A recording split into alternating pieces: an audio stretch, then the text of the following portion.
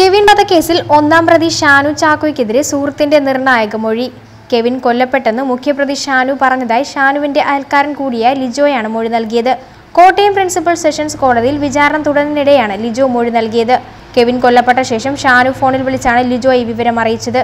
ഷാനുവിനോട് police സ്റ്റേഷനിൽ കീഴടങ്ങാൻ നിർദ്ദേശിച്ചതായും ലിജോ കോടതിയിൽ പറഞ്ഞു.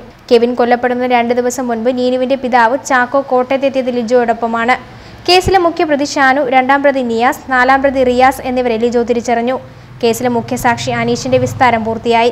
പ്രതികൾ കെവിനെ തട്ടിക്കൊണ്ടുപോകാൻ ഉപയോഗിച്ച് മൂന്ന് വാഹനങ്ങളും അനീഷ് തിരിച്ചറിഞ്ഞു. മോട്ടോർ വാഹന വകുപ്പിന്റെ പരിശോധനയിൽ പിടിവീണ് നിയമം ലംഘിച്ച് സർവീസ് നടത്തുന്ന അന്തർ സംസ്ഥാന ടൂറിസ്റ്റ് ബസ്സുകൾ. സംസ്ഥാനത്ത് ഇരുന്നൂറ്റി നാൽപ്പത്തേഴ് ബസ്സുകൾക്കെതിരെ ഇന്ന് കേസെടുത്തു.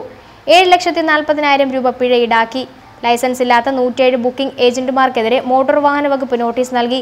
ഓപ്പറേഷൻ നൈറ്റ് റൈഡേഴ്സ് എന്ന പേരിൽ സംസ്ഥാനത്ത് അന്തർ സംസ്ഥാന ടൂറിസ്റ്റ് ബസ്സുകൾ നടത്തുന്ന പരിശോധന ഇന്നലെയും ഇന്നുമായി കൂടുതൽ കർശനമാക്കി.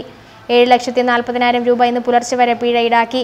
ടിക്കറ്റ് നൽകി യാത്രക്കാരെ കൊണ്ടുപോയി ടൂറിസ്റ്റ് ബസ്സുകൾക്കെതിരെയാണ് നടപടി. തിരുവനന്തപുരത്ത് മാത്രം മുപ്പത്തിനാല് ബസ്സുകൾക്കെതിരെ കേസെടുത്തു. അൻപത്തിനാലായിരം രൂപ പിഴയും ഈടാക്കി. വാളയാർ ചെക്ക് പോസ്റ്റിൽ തൊണ്ണൂറ്റേഴ് ബസ്സുകൾക്ക് പിടിവീണു. ലൈസൻസ് ഇല്ലാത്ത നൂറ്റേഴ് ബുക്കിംഗ് ഏജന്റുമാരോട് ലൈസൻസ് എടുക്കാനോ ഏജൻസി അടച്ചുപൂട്ടാനോ നിർദ്ദേശം നൽകി.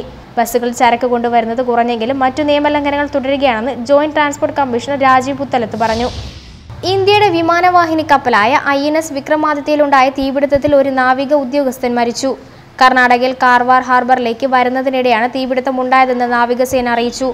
ലഫ്റ്റനന്റ് കമാൻഡർ ഡി എസ് ചൗഹാനാണ് മരിച്ചത്. അദ്ദേഹത്തിന്റെ നേതൃത്വത്തിൽ തീയണയ്ക്കാനുള്ള ശ്രമം നടത്തി വരുന്നതിനിടെയായിരുന്നു മരണമെന്ന് നാവികസേന അധികൃതർ പറഞ്ഞു. തീപിടുത്തത്തെ തുടർന്നുണ്ടായ കനത്ത പുകയിൽ ഡി എസ് ചൗഹാൻ ബോധം കെട്ടുവീണു. ഉടൻ തന്നെ അദ്ദേഹത്തെ കർവാറിലെ നാവിക ആശുപത്രിയിൽ എത്തിച്ചെങ്കിലും മരണം സംഭവിച്ചിരുന്നു. വിവാദ വജ്ര വ്യവസായി നീരവ് മോദിയുടെ ജാമ്യാപേക്ഷ ബ്രിട്ടനിലെ കോടതി വീണ്ടും തള്ളി. ഇത് മൂന്നാം തവണയാണ് വെസ്റ്റ്മിൻസ്റ്റർ കോടതി ജാമ്യാപേക്ഷ തള്ളുന്നത്. നീരവ് മോദിയുടെ കസ്റ്റഡി മെയ് ഇരുപത്തിനാല് വരെ നീട്ടിയിട്ടുണ്ട്. നീരവ് മോദിയെ അറസ്റ്റ് ചെയ്ത സമയത്തായിരുന്നു ആദ്യ ജാമ്യാപേക്ഷ നൽകിയിരുന്നത്. എന്നാൽ അന്ന് ജാമ്യാപേക്ഷ തള്ളുകയും നീരവ് മോദിയെ തടവിലാക്കുകയുമായിരുന്നു കോടതി ചെയ്തത്. തുടർന്നാണ് വീണ്ടും ജാമ്യാപേക്ഷ നൽകിയത്. ഇതും കോടതി തള്ളിയിരുന്നു.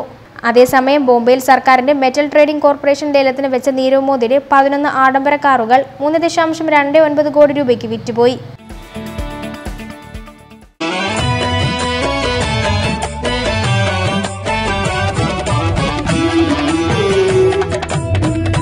ചരിത്രത്തിന്റെ നൂറ്റിയൊന്ന് വർഷങ്ങൾ ചുങ്കത്ത് ജ്വല്ലറി. അനുഭവം അതാണ് സത്യം.